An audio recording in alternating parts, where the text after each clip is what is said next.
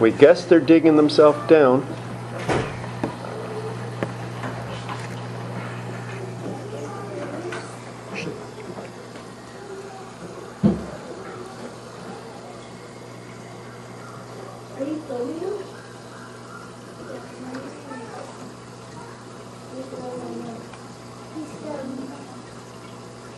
Film that.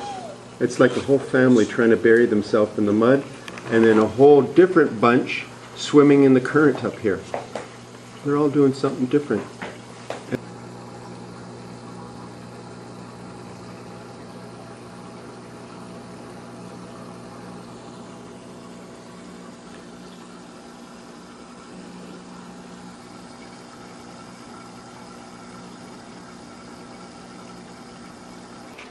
Look at that one. You can see, maybe if I go from the top down, we'll really see the legs.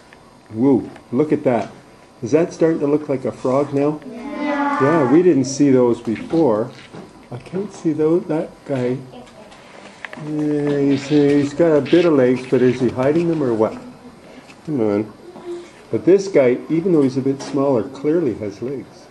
I wish I could get closer, but I can't get really too, too close with the camera. I don't want to get the camera wet. And the light there.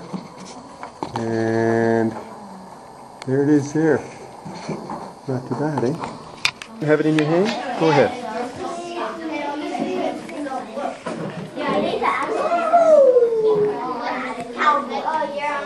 It up?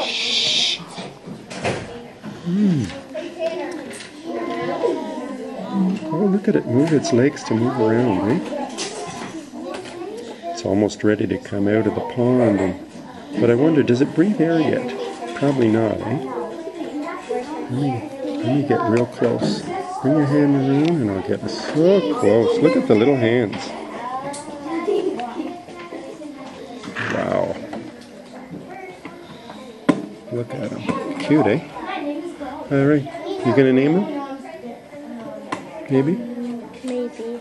Maybe? I don't believe.